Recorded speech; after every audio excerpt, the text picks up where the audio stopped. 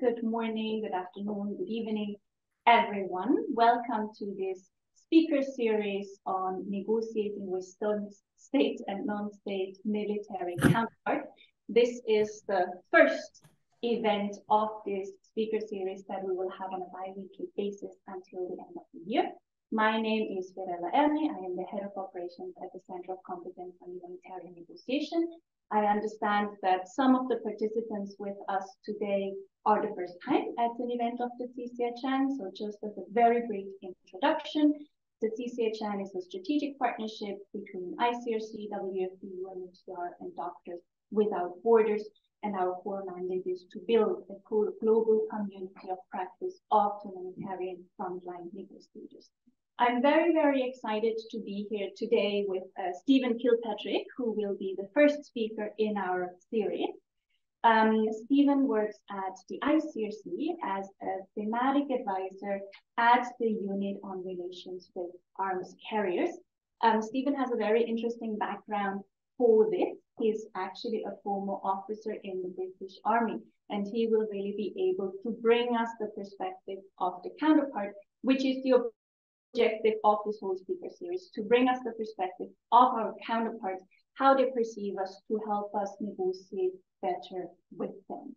So Stephen will be presenting. Um, I would like to ask you to hold your questions until the end, but feel free to write them in the chat. I will be taking notes and then we'll have a question, answer, and discussion after the presentations. I would also like to draw your attention to the fact that this session is being recorded, only the presentation part. The moment we go into questions, answers, and discussions, we will switch off the recording and check on how rules apply. So I will um, leave it to you, Stephen, and I hope you will enjoy the session. Well, thank you very much indeed, Fiorella, and uh, good afternoon to, to everybody, and thank you for, for taking the time to, uh, to come and listen. Um, just to amplify what Fiorella said about the CCHN, I've spent four years um, working with them, and um, it, it has cons improved considerably my negotiation skills. All a bit late, I sense, but um, but hugely valuable nonetheless. Now, why uh, why am I standing in front of you today? Um, it's partly because every day, every morning, I jump on the bus and I come to, to the ICRC headquarters here in Geneva, and sitting alongside me are people with all sorts of uh, lanyards and badges from different humanitarian organizations. And I often reflect uh, that a lot of their work uh, relates to the conduct uh, of arms carriers, whether they be state armed forces, non-state armed groups, uh, state police forces, private military security companies. And I often wonder how much they know about the um, the organizations that influence their lives. And so uh, I've decided to, to, uh, to come along and present to you today. I should caveat what I say by saying whilst I work for the ICRC, I don't speak as a representative of the ICRC, but I very much hope that I won't say anything to contradict what the ICRC would say. I speak as a, an ex-British military officer, but I very much hope that I'm going to try and make it uh, reflect militaries worldwide, and I'll explain why I think that. Um, and it's based very much on my own uh, experience and, and, perspectives. Now, we did did uh, promote this as, as being uh, reflective of, of uh, non-state armed groups as well, but my colleague Ruben Stewart will be with you on the 21st of November to do better justice to the whole notion of, of uh, non-state armed groups. So I'm going to concentrate on the age of engagement with state armed forces, with a little touch on uh, non-state armed groups here and there.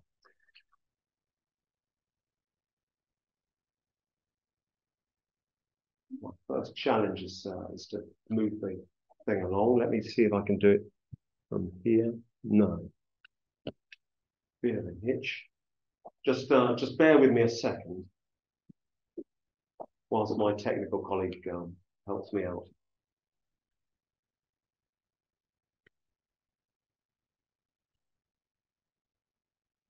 Try again. There we go. So forgive me. You're you're looking at an infantryman, so um, even the clicker presents challenges. I could have called this when two tribes go to war. Um, and that might have been quite relevant. But when Frankie Goes to Hollywood uh, re released this song, he was more thinking of the tribes in conflict. My sense is that the tribes, the military humanitarian organizations, work alongside each other. And for example, the ICRC, as we remind a lot of people quite regularly, was born on the battlefield, the battlefield of Solferino. And wherever there is conflict, you will see the ICRC and many other humanitarian organizations. I will talk about occasions when the military and humanitarian organizations are in conflict, and certainly one big one in my experience, and I'll touch on that. But I do believe that there is often a clash of cultures. Um, and we're going to talk about whether there is a military culture. I think there are characteristics that militaries all share. And I also believe that there is a humanitarian culture. So we do occasionally have a clash of cultures. This is my day job. Um, for the last seven years, I've been working for the ICRC uh, in the Unit for Relations with Arms Carriers. And, and I began in Myanmar for three years, and I've come to the headquarters for, for the last four. And our role is to uh, encourage um, state armed forces, arms carriers, to understand uh, international humanitarian law, or more broadly, the laws that govern their, govern their military operations, and to be able to apply them. And therefore, we engage with audiences uh, all over the place and you'll see there one of my, my handbooks, uh, I say mine, I produced it with a, a, group of other people, that encourages commanders to better understand how to reduce civilian harm during their urban operations. Um, more, and that one uh, was released two years ago, and it's been, been translated into, into 12 languages. Uh, and, uh, and John Grisham is quite worried about, uh, about his sales these days. More recently, uh, this is a, a, handbook we, we released two months ago, and this focuses on the employment of military forces when they are conducting law enforcement operations. And those of you in the field, in headquarters, will know that military organizations are quite often employed to augment or to replace the police force.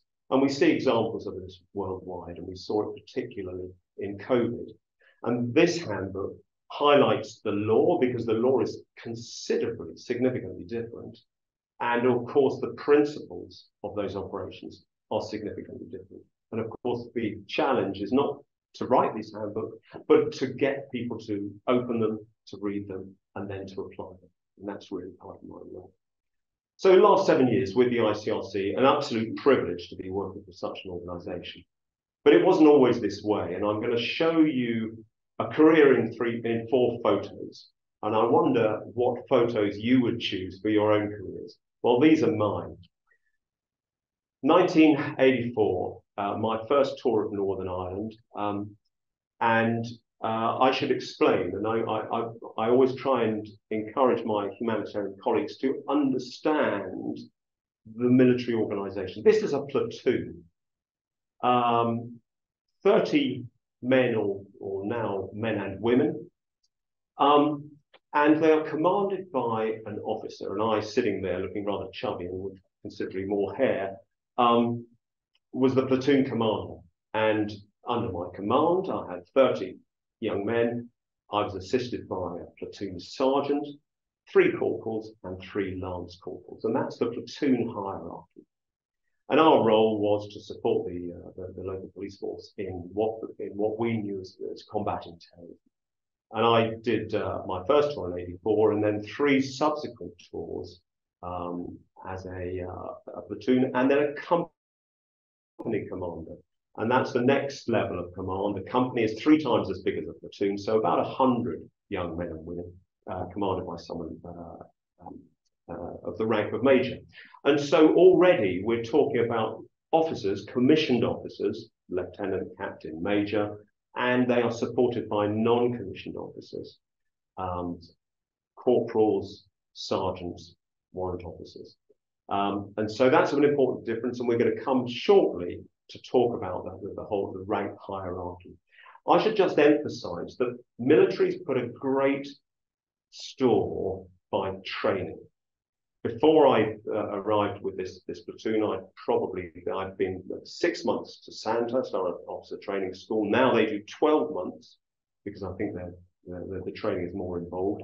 And then I've been for three months to, to our platoon commander's battle school uh, to prepare me. So nine months before I even set foot in the platoon. Young soldiers there, the youngest will be 18, um, and they will all have gone through about an, uh, an 11 week training uh, to be soldiers, and then another 10 weeks or so to be um, uh, to be infantry soldiers.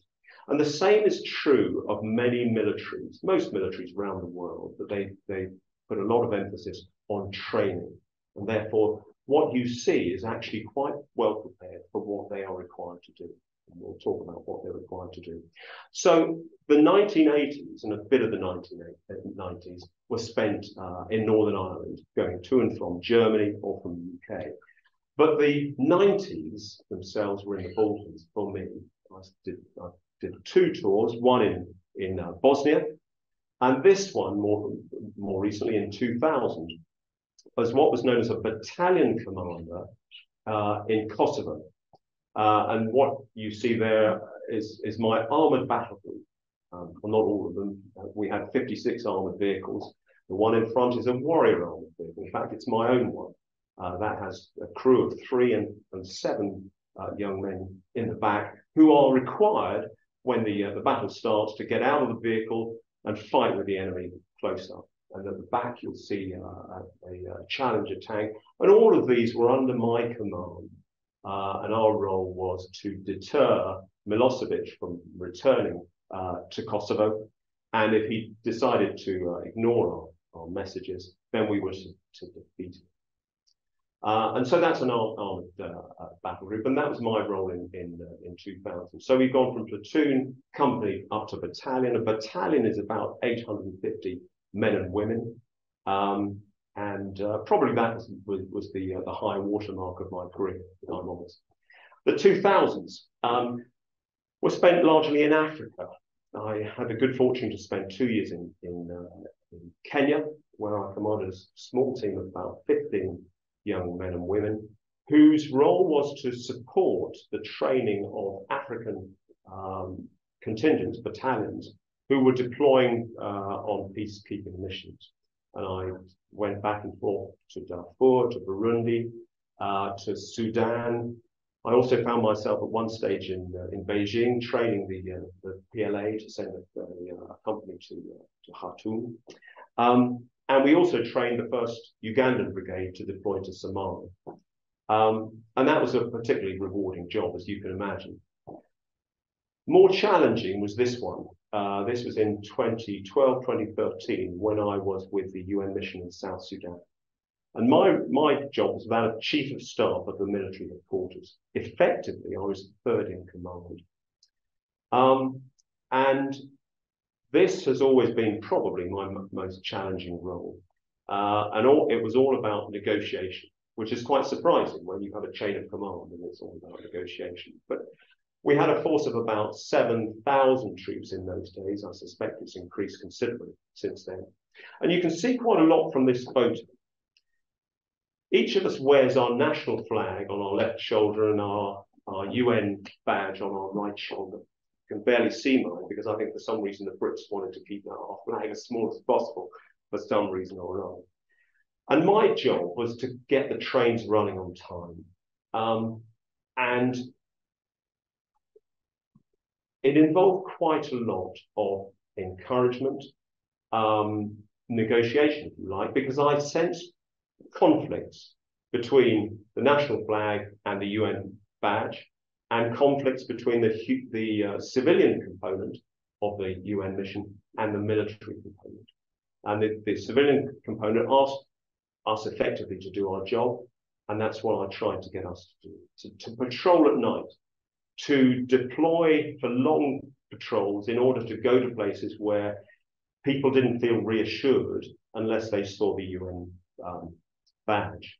Um, and for us as a military headquarters to combine with the joint headquarters, so it was a truly joint headquarters. Um, and I struggled, if I'm honest. Um, although I had a rank above most of these folk here, um, the, the national um, flag was quite prominent and I, I felt I, I, fought quite a few battles, but many of them negotiations. I should just mention my, my military assistant, Rog, who's got his back to us. In that pack, he's got a lot of chocolate, um, just to keep us going. But the relationship between a commander and his or her military assistant is quite profound. And I think it pays people to understand that if you are negotiating with a senior officer, the importance of treating the junior staff well. Because Rog was the gatekeeper. Rog was from, from Nepal and he was a major, so comparatively junior. But he was the gatekeeper to everybody that uh, wanted to, to come to me. And I would just urge you to put down to to treat the the, the, uh, the, little people well. And I use little people in this its uh, its narrow sense. So that's um, that's the challenge of, of uh, UN missions, and people have written a lot about UN missions and the particular challenges that come with them. And this one was no different. And um, I'm not sure what the solutions are, but maybe we can touch on that in question. And the final uh, part of the, the, uh, the, decade beyond 2010 um, was spent in the Middle East. Uh, I did a tour in Iran in 2003 um, as the go-between between the coalition in Iraq and the Islamic Republican Guard Corps. I spent time in Basra in 2007 in the headquarters. And, and finally, uh, I was the director of studies uh, at the Kuwait Military Staff College. And this is partly the reason why I say that, although I'm talking specifically about the British military, it applies to many militaries, that, is that there are many uh, staff colleges around the world, of which the, the UK, the US, the French, the, the, the Kuwaiti, and several in Africa, where they train officers internationally. And so the messages, the doctrine, the policies, the values permeate. And so you will see uh, a lot of um, a lot of uh, information being shared and a lot of experiences being shared. And this is important when you are negotiating with a senior military officer, because he or she will probably have been to a college overseas. And you might have some sort of link with that college, or the, the, uh, the, the, city where it is, for example, in Paris. Um, and uh, there may be some sort of link. And when, we'll talk a little bit about building bridges, uh, which are important. I'll just touch on some of the bling. I, I, I, put that in the title. On my left shoulder, you'll see the, the, uh, the tiger badge, and you'll see it also on my armored vehicle uh, front right mud flap. The tiger was awarded to my regiment uh, for 20 years unbroken service in India, many moons ago. And um, uh, my point is, I think, that you can tell quite a lot about military officers and soldiers by the badges they wear. And just refer, just noticing the guy in the background there with his, his uh, uh, sunglasses on, he's wearing his medals. Now, in, in, in my military, we don't wear medals in, in the, the, the uniform that he um, he's wearing, but often you'll see militaries wearing their medals in combat uniform, and you can work out where they've been. And if this particular officer has been in the UN, then you'll see a particular medal there. And that gives you another touch point that maybe you or one of your staff has served in, in South Sudan, Central African Republic, um, in Somalia, for example, and there's a, a, small bridge, albeit a rope bridge, that you can build. So there it is, the the, uh, the career in four, four photos, which prepared me for my role in the ICRC, and I hope that I can share some of the uh, the ideas here. So this is the uh, the progress. We're going to talk about uh, the central ideas. There are now two. We're going to talk about force. We're going to touch on security, we can talk about decisions, and I'm going to introduce you to the OODA loop, unless you've already encountered it. I'm going to talk about the place, needs. We're going to talk about coins, badges, and bling. I'm going to make some suggestions at the end, and I'm going to, in true military fashion, end on a high. Central idea that both arms carriers and humanitarians believe they understand each other. And that's quite dangerous because I'm very confident that they simply don't. And there is there are preconceptions that I see in the humanitarian world and the military world that just don't stack up. Uh, and that's why, arguably, this program that the CCHN has, has put together is important. And secondly, both organizations are fiercely principled and they believe exactly what they do and its righteousness. And that's very important. So what from this? Um, it's so, so important when you're engaging with a military officer to make him or her understand where you're coming from, what your organization represents, what the principles are. Because very often officers in conflict will see many humanitarian um, organizations and they start to coalesce and that's dangerous. So if you want to stand out, spend time on the political level of, of negotiation, explain in two minutes the elevator pitch, what your organization does, what its principles are, and what you're after. And that's really important and also make proper introductions because in my experience, people aren't terribly good at it. But what are the principles? Now, you know the humanitarian principles, and of course the ICRC adds uh, voluntary service, uh, universality and unity to those four, but those are the core humanitarian principles. But militaries have core values, and this is important when you put together a bunch of really disparate folk and you ask them to be prepared to fight for each other and indeed to, to give their life for each other. And we know, certainly in the British military, we used to know it by the mnemonic solid C.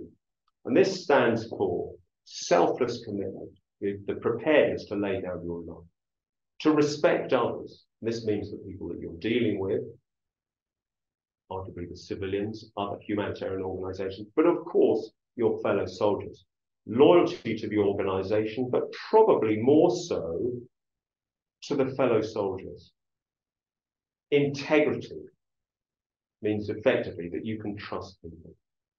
Discipline is always a, a, a key tenet of, um, of, of military organizations, both discipline itself, but also self-discipline, the fact that people can self-motivate themselves and they can be relied upon to do things, uh, even if they're in very unpleasant conditions at two o'clock in the morning when it's dark and very, very wet.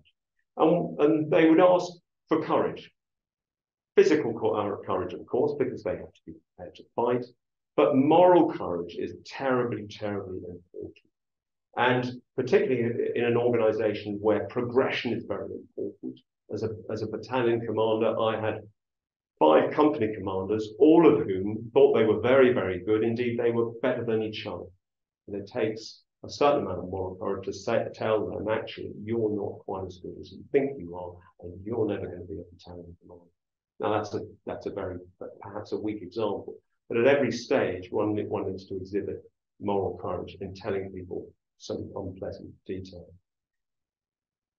But there's often a, a tension I find, and this it almost always boils down, in my view, to these two principles of the law of armed conflict. On the one hand, humanitarian organizations from, uh, see humanity at the, as the absolute pivotal um, principle, whereas militaries, for militaries, it's all about the mission, the achievement of the mission, and the gaining military advantage.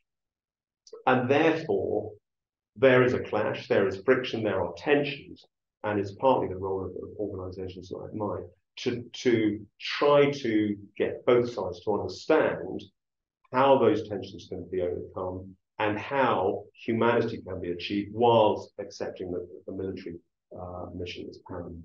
And that requires a lot of, lot of dialogue. Force is a key tenet, tenet of militaries worldwide. They talk of force projection, combat power, offensive spirit. And I put FFS because it doesn't mean what you think it does. I'm just trying to think what it does mean. Um, find, fix, and strike. was something we all learned at Staff College. You find your enemy, you fix them in position, and then you strike them. And that's that just reflects the fact that militaries are all about dominance, overcoming an adversary. Even if they are the soldiers are in logistics, they're chefs, they're communicators, they're all about supporting the effort that dominates and overcomes. And this can very often translate into the attitude and the approach of an officer to his or her negotiation with you. They will be sat across the table, they will be standing in the, in the, uh, the clearing, and they will expect to gain the upper hand in negotiation. What's interesting is that militaries don't often, and certainly in the case of mine when I was a soldier, don't have doctrine for negotiation. And this was exposed in, in, in 2007 uh, in, in uh, the Middle East, where big negotiations took place, and everybody said, well, how are we doing this? Why are we doing it? On what basis are we doing this? My message is that if you have doctrine for negotiation, if you follow the, the tools promoted by the, the CCHN, then arguably you're at a, an advantage and can start to, to, to claw back some of this ground that is lost to this dominance on the other side of the table, in my view. Security is so very important. And in this photo, you see one of my officers in Kosovo. You also see um, uh, Bernard Kouchner, who was one of the founder members of uh, MSF, you can tell that this officer is a, a second lieutenant. He's very junior because he's got one star on his chest there. Uh, and of course, he's got the tiger on his left shoulder. shoulder. Security is a principle of war. There are 10, and security is right up there amongst the, the, the most important. And all other activities have to uh, use that as a baseline, whether it be security of personnel, security of weapons and ammunition, security of vehicles, security of bases, security of logistics. It's all about security. And without security, nothing else can happen. In my experience, military commanders often use security as their trump card in negotiation. They will never want uh, to uh, for a humanitarian organization to to to, uh, to be exposed in their area of operations or at risk or worse. And therefore, they can, will quite often say, even if they don't want you to, to, uh, to, to make that journey, to visit that, that particular refugee camp, for example, I can't guarantee your security. And I've used it myself. In the CCHN, we have exercises and we play the role of General Wallace or General Clivus. And my first card is security. I simply can't protect you, uh, protect you when you're moving through my area. Therefore, you can't go. My message is, and this is not an easy uh, battle to, to win, one must acknowledge the concerns of the military, but prepare a counter argument. What is it about your organization that makes it so important that you need to go to that particular uh, venue? What is it about, about your organization that needs to be seen by the local population and the non-state armed group? And therefore, your security is actually bound by the fact that you do make this journey. Really, really important. It's not an easy one, but but prepare for that because I think the general every time will will will raise the, the issue of security. I thought I'd interest, uh, uh, introduce you to the OODA loop. Now, my my um, sample of three people here in the CCHN indicated that they didn't know what the OODA loop is. And to military folk, the OODA loop is, is all pervading. We learned this at Staff College and um, and uh, we regularly regularly used to use it. It was in, invented by a soldier, Colonel John Boyd. He was an airman in the, the Korean War, and he was flying. Um, and in his aircraft, there was a large canopy through which he was able to see better than his adversary. He realized that he could observe better. He could work out where he was and where his enemy was. He can then decide faster, and then he could act. And militaries use this all over, uh, over the world. The, the fact that the, the ability to observe, orient, decide, and act faster than your enemy means that you will probably be acting when they're still orienting or deciding. And dare I say, we've had a good example of that over the last few days. So it was created by soldiers, be used by soldiers, adapted for business. And, and if you go on to, to um, uh, Google and you put in the OODA loop, the first thing that comes up is not, it has nothing to do with military OODA loops. It's all about uh, for business. Now, this is partly why military like militaries like to move at pace. They use the term tempo, which means moving at, spe at speed, moving with force, and being decisive. And it, it underpins acts such as dynamic tar targeting, which of course very often causes a lot of civilian harm. And so this dialogue about, the and tempo is often something that we, we cross over. But I'll come back to this in a while because I believe that it's possible for humanitarians to get into the military decision cycle by good preparation and so slightly unhinge that general who's feeling so confident across the table. And by the general, I don't say that you're always negotiating with generals. You may be uh, negotiating with, with colonels or even captains, but that senior officer across the table. And I'll talk shortly about why it is important to negotiate with people of rank. Indeed, let's talk about it now. Everyone has their place in the military. And indeed, when, when you join a humanitarian organization, you need to understand where everybody fits in. And it's unfortunate because nobody in humanitarian organizations wear rank. Um, whereas in militaries, everybody fits in. You know what they've done, where they've been, what authority they have, and therefore the ability to make decisions. And this was something that I produced for my team in Myanmar, and we put it up, well, I, I wanted them to put it above their sun visor, so that whenever they approached a checkpoint or they were going to, to a dialogue with a, with a, a military group, they would know roughly who they were talking to. In simple terms, uh, Non-commissioned officers wear their, their uh, rank on their shoulders, uh, on their, their arms, normally their right arms, and occasionally if they're quite senior non-commissioned officers on their wrists. And officers, commissioned officers, those with rather more authority on their shoulders or on their chests. And I suppose a rule of thumb is the more stuff they've got on the, the badge, the more authority they have. And you can see that this being so.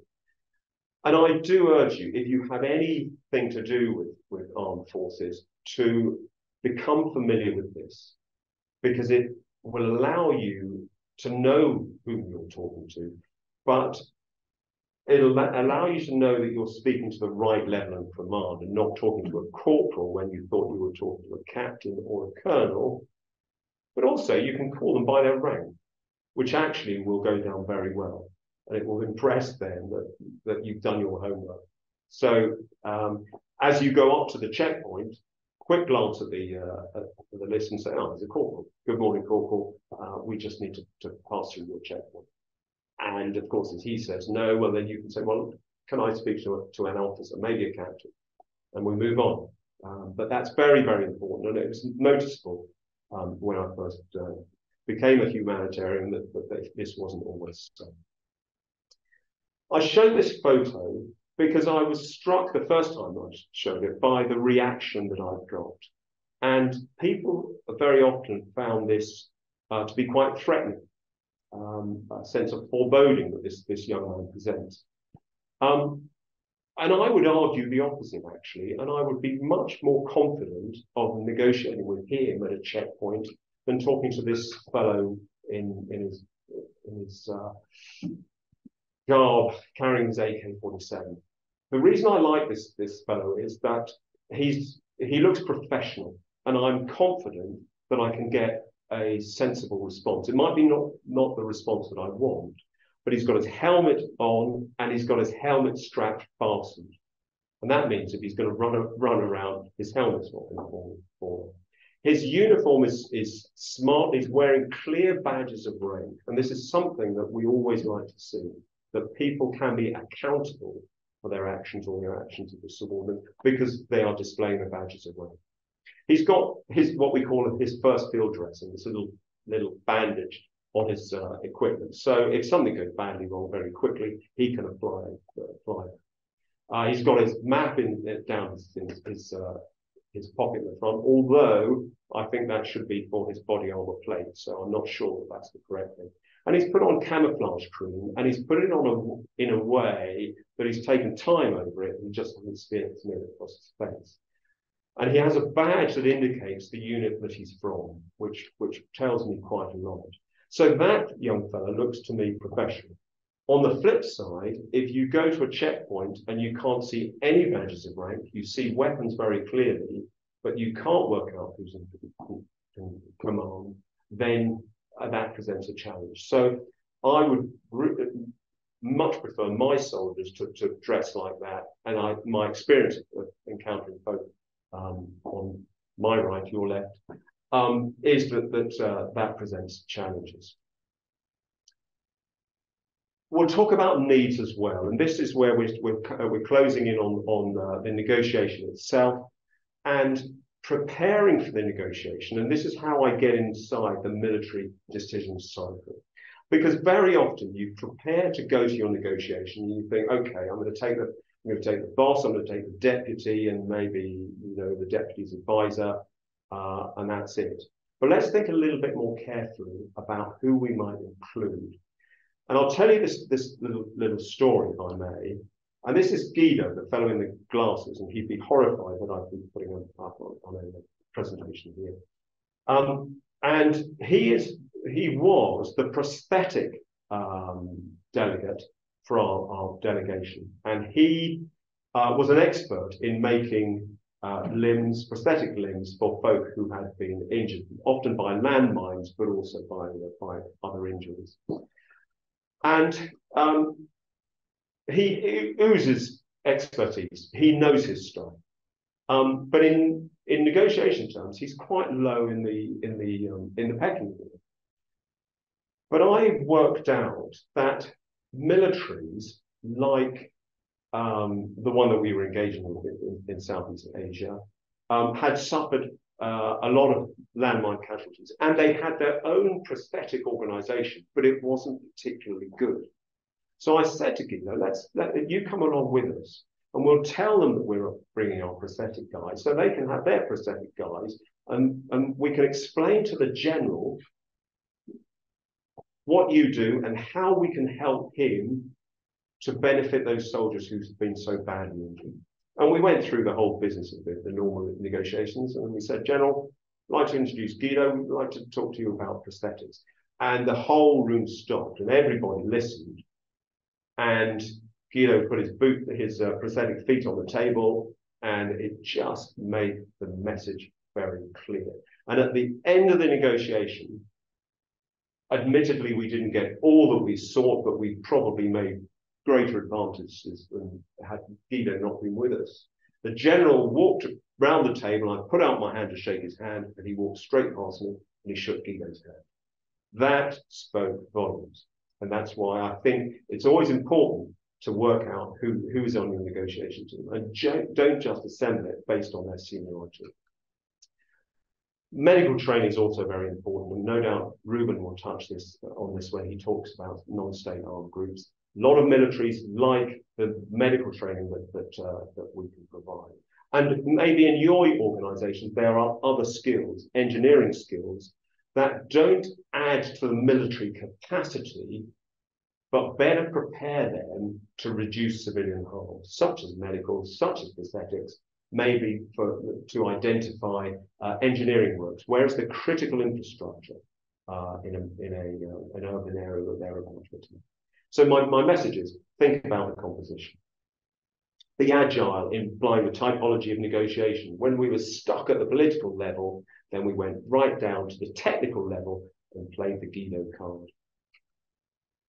I just show this very briefly, if I may. I, I tried to create a typology of armed force attitude towards humanitarian organizations. And I, I did a bit of research in, in across the road in the ICRC and asked my colleagues whether they, they uh, knew of anything. And I came up with this, um, and it introduces two different relationships uh, within militaries. We know one as mission command and the other as directive control. Mission command gives a lot of authority to subordinates. So a major is told take that bridge, just uh, seize that, that hill, but he's not told how to do it. And he or, or she is allowed simply to get on with it. And that gives them great flexibility and allows that OODA loop to, to move a lot faster. Those that are directive controlled are, in many respects, the opposite. They rely on the general to tell the colonel what the major needs to do. And then the major does what the general told him or her. Um, and that slows everything up. Um, and I've got four different um, military forces there, and I caveat it by, by saying that there are variations across a force and according to rank and experience. But I reckon there are four different types. And curiously, I, I was struck by this handbook that the ICRC has produced, um, which, which is a, a, um, uh, handbook on uh, engaging with state armed forces to prevent sexual violence. And we'll give you the link in the chat at the end. And this also has a typology of, of, um, uh, of, engaging with armed forces based on their response to, to uh, sexual violence. And it's not far different. So I feel quite pleased about this. But, but these high-end mission commanded militaries, we meet quite often. And their attitude to, to, to humanitarian organizations is generally quite dismissive and they're quite indifferent. And in that respect, one has to be professional always. You can see this as a common theme and demonstrating utility. And that in part goes back to, to the, the typology of negotiations I talked. Then I identified youthful militaries, but those who are not modernizing and they are heavily directive controlled. So if you go to the checkpoint, you see a sergeant or a young officer, and none of them can make the decision. They have to go to the captain. The captain can't make the decision, has to go to the colonel, and eventually it goes up to the general. And everything goes very, very slowly.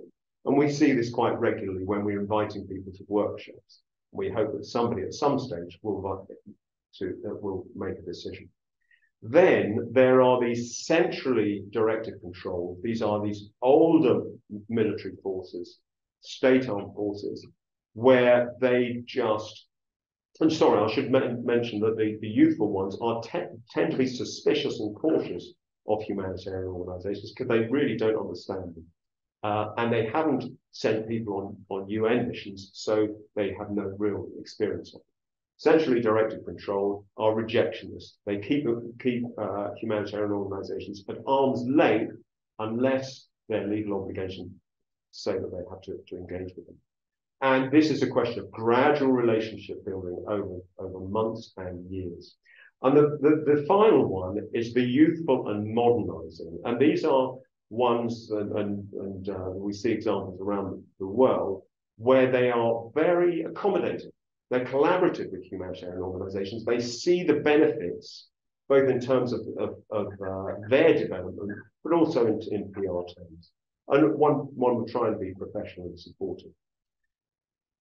It's, it's a first attempt. I'm sure this can be refined, but I was curious that, that it, it reflected roughly what was said in the handbook. And if you have a better idea here, then please um, put it in the chat and we'll um, ignore it.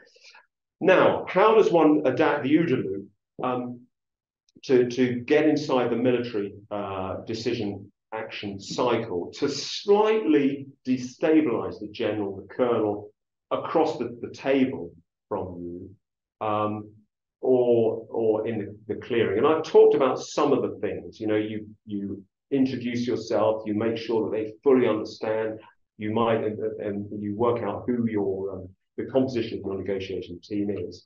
But I've come up with my own four words. And this is, I don't throw these down for the sake of it because these are really, really important. You need to prepare because the, I don't think that militaries prepare for negotiation in the way that they should. And if you prepare yourself and do so in a way that is quite clear that you've prepared yourself, then you're in, on, on good ground. You do your research. Where is the general from? What staff college did he go to? What UN missions has he been on? What experience have we got in, uh, of him in, in, the past? Tell, talk to us about his staff. Have we engaged with his military assistant before? What's his response to us or her response to us? and you start to build a picture in order that you can work out your strategy. And of course, the tools of this CCHN design are, are, are absolutely relevant here. And we'll talk about one of them in a second. But then, and this is my my personal um, preference, you rehearse it. And we have a, used to have a saying in the military, time spent on rehearsal is never wasted. And I can often tell where people have rehearsed, rehearsed their negotiation in our exercises because they go so much much easier. And when you rehearse, you work out where the mistakes might be made. You come up with some good ideas, and by the time you've done that, you're ready to conduct. And then, of course, it goes as a loop. You can conduct your after action review and you prepare for the next one. And I think this is really important. The research and the rehearsal are pivotal. And we talk about the, the tools that the, the, the CCHN uh, encourages, and this is central. The actor mapping, who are the influencers on uh, this particular individual? And um, you know, on the face of it, you can you know very little about that person, but once you engage your, your national staff, once you, you do a bit of uh, research, um, I'm sure that you can start to build a picture. And it will always impress a general if you know something about him or her before you uh, when you go through the door. So this is really, really important. Engaging with the, the, uh, the peer organisations, working out who the local actors are and who those those spoilers are. I, I, I put great store by this.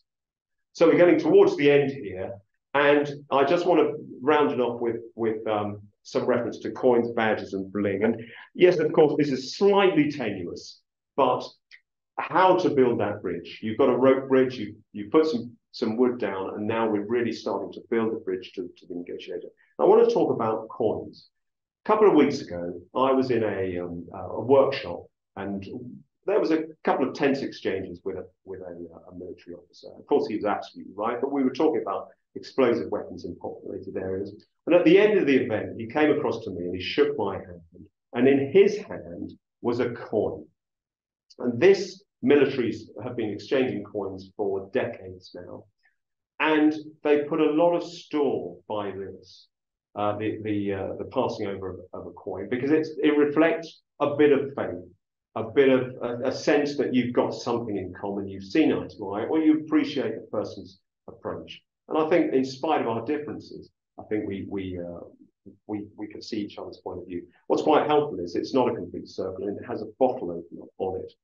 But a lot of officers like these, and you can often go into to military offices and see um, trays of, of, of, uh, of coins um, very often they've made stands, they can, they can be displayed um, uh, more visually. This is the, uh, the coin collection of my boss uh, in the ICRC, who, like me, is, uh, is ex-military. And my proof is that, that we put a lot of store by this. My, my wife sadly calls this landfill, which I think is very uncharitable. But wouldn't it be great if humanitarian organizations had something similar? Well, funny old thing, the ICRC does, but we're very reluctant to use this um, to, to shake the hand and pass over the coin of the ICRC. Uh, and if your, your, organization has something similar, just something that can be passed over and makes the general think, oh, that's, that's quite something. I like that. Um, it might just get you that elevation that other humanitarian organizations, other people who beat a path to his or her door, don't. Um, badges, very, very important. And these tell you where organizations come from in the country, whether they're local, whether they've been flown in, short notice, whether they're quick reaction force, and it can give you an idea of what's about to happen if, if, uh, if some of the, uh, the airborne uh, fire brigades suddenly arrive. So it's important to, to understand um, understand badges. And this isn't spying. This is this is available on Wikipedia, and it goes above the, the, the sun visor. And finally, medals. The most important medal here, from the humanitarian point of view, is the blue one, the fourth from the right, um, with the two on it, because that's a UN medal.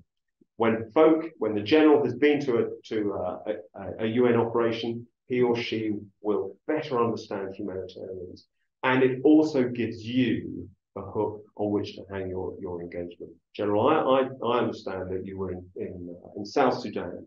Um, you know, just explain to me, Ron, maybe you met, uh, maybe, maybe met uh, this organization and, and, you can understand, well, well, we, we have a, a similar organization there. And uh, again, it just builds the bridge a little bit. So the, the su suggestions, how best to engage. And I said PRRC, critically research, rehearse, conduct. Do your research on the interlocutor. What is his or her rank and their background, previous service, service and their interest. And that also makes um, uh, is helpful.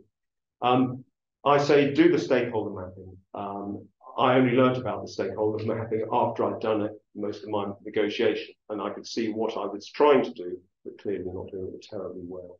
Who are the real influences? And remember Rog, the military assistant. He was so important to me, and if someone had treated them badly in my outer office, I would have, uh, I would have heard about it. Similarly, what I very unfairly call the little people, the driver, uh, the, uh, the, the military assistant, the clerk, treat them well because it will always find its way back to the, the, the general and work out what really matters to him or her. And we talked about the, the, the health of the soldiers and particularly those who had lost limbs. I'd say take small punts. Uh, I don't use the word risk, but I think take, take a gift, uh, something that you can just pass across and he's, he's suddenly realized that you have given him something. We built a small bridge. And I say rehearse, rehearse like fury include your interpreter. Um, because it can all fall away if the first time you start engaging is when uh, um, with an interpreter is when you are in the room. Your interpreter will will help you a lot um, in, in, most cases, and this is really really important. And at the CCHN, we've got a group where we discuss some uh, use of interpreter and try and improve our, our ability.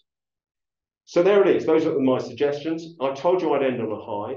Um, I just mentioned that, that um, this photo clearly indicates that we're lost, but this one is a negotiation in uh, South Sudan with a non-state armed group, and we took along the paramount chief of the tribe whom, with whom we were engaging. And five minutes after this, we were surrounded by some very uh, aggressive-looking fighters, and it looked as if it was going to be going badly wrong until they saw the paramount chief at which point weapons were, were put down and it was all big smiles. And the reason I say rehearse is that, that, that uh, this is a, a, a, military occupation. Uh, militaries rehearse their operations and it pays. Therefore, I do urge you to do the same. So in summary, I've, I've put the list here. There is a deeply rooted difference in cultures, in my view, but it's on a firm belief in what humanitarians and militaries do.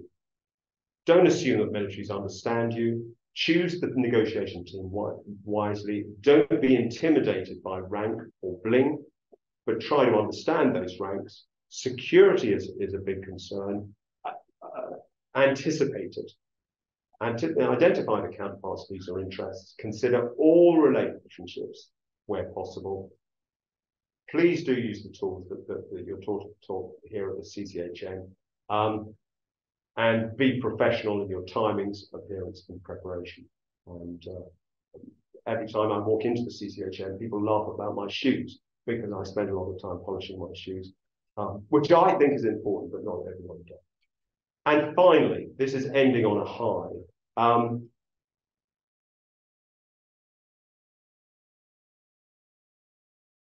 this I did four tours in Northern Ireland, and at no stage did I ever believe that um, the troubles were going to end.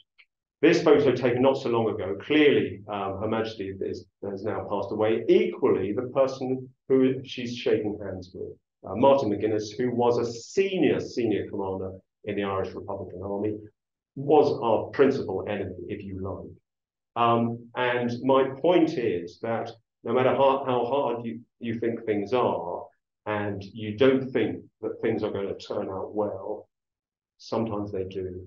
And I just underpin that military operations and negotiations are not mutually exclusive. So they can go hand in hand with a positive result. Okay, thank you very much. I think we will wrap it up here. Thank you so much, Stephen, for this very, very informative session. Um, I hope you've enjoyed it. We had between 55 to 60 colleagues joining us and tuning in today, which is great. Um, Stephen has referred a lot to CCHN workshops, simulations, tools. For those of you who are not yet community members of the CCHN, we invite you to join a CCHN peer workshop where you'll be introduced to the CCHN methodology, um, tools and then also join our community of practice, which is currently about 6,000 people strong, where you can really also learn from your peers on different topics. If this session was interesting for you, um, we will be having more speakers on a bi-weekly basis. We will dive deeper also into negotiations with non-state armed groups, with, with Ruben, who is a colleague of Stephen at the ICRC, and we're also hoping to get representatives of non-state armed groups in this session who can actually present to you their view. We will be having a session also with the director of a private military company because we know this is also a concern for many of you. How do we negotiate with private military companies? And we are having officers of also different armed forces in the Middle East and in Asia who will present to you their view um, on how they perceive humanitarians in a negotiation and also how they are trained on negotiation themselves, which will hopefully help all of us to understand us better. In parallel, we're starting uh, another speaker series that is on assertive or adversarial counterparts, where we very much look at how do we negotiate also with very strong states or civilian authorities. That will start off more on the soft skill side. How do we handle a very adversarial negotiation? We will be starting that with uh, Kirk Kinnell, um, who has a lot of experience in hostage negotiation, and we will kickstart this speaker series in the end of October. So stay tuned on CCHN Connect, on LinkedIn, on our website to hear what is coming up. It has been a great pleasure to be with you today. Thank you very much for joining, and we look forward to seeing you soon again. And thank you very much, Steve. Thank you. Thank you very much, Steve.